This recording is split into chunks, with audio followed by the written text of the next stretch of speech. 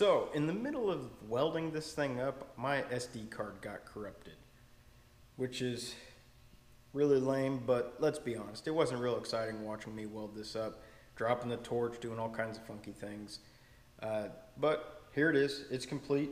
Uh, I'm really happy with how it turned out. This is the first one I've ever made. I did decide to film it just so I could show everybody what it looks like.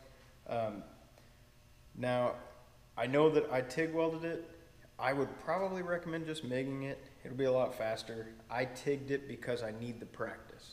Um, I'm not a great TIG welder. I teach myself all this stuff basically. So um, that's a, a, a, good way to learn is to force myself to do it on shop projects that it doesn't matter how I do it. Um, so this is this has been TIG welded. I didn't even weld all of the tabs in the back uh, because it just ended up not needing it. I did do all the sides, but yeah, I'm, I'm really happy with how this turned out. Um, I hope you guys like it too. If you're interested, I do sell the files for this on my Etsy store. Uh, the links are down below. If there is a size there that you uh, want but isn't there, let's see if I can get that right. It, if there's a size that you want that is not on the Etsy store, make sure you send me a message. Uh, you can do it on here or you can do it on there. I can put a listing up. Uh, the files are all five bucks each. The reason for that is because this file took me a very long time to make.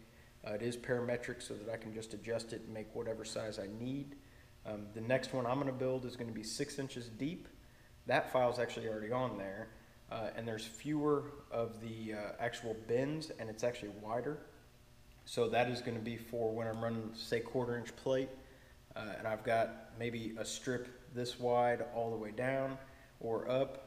Um, I'm gonna throw some gussets on there, tube caps, uh, caster plates, that kind of thing, and then I'm gonna have a place in one of these that's a little bit bigger to store all that stuff in it. So uh, that's how I plan to use these. This one's gonna be uh, bolts that I use for the welding table and uh, other projects, just pretty common. Uh, so these things are gonna be great. Hope you guys like it and can use it, and I will see you guys next time.